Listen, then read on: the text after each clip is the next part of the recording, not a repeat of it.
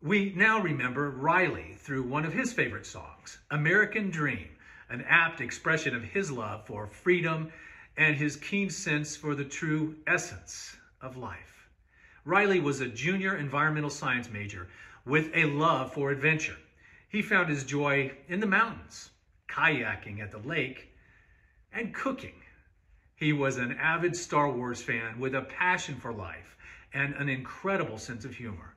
Riley was upbeat and positive and always putting others ahead of himself. Here again are John Woodall and Kevin Brawley from Water from Fire performing American Dream by Switchfoot.